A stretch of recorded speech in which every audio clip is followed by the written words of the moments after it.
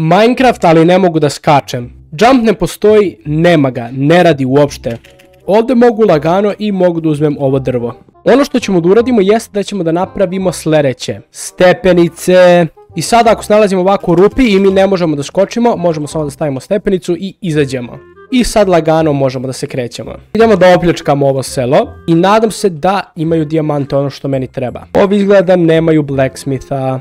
Mogli bi u mine da idemo, a? Ok, idemo do majna. Ne! Ok, ja sam ovdje gotov. Nemam izlaza odavde. Ne mogu da srušim ništa zato što nemam pickaxe, moram rukama. Ne, ja sam glupa, brate. Lupite like i sub.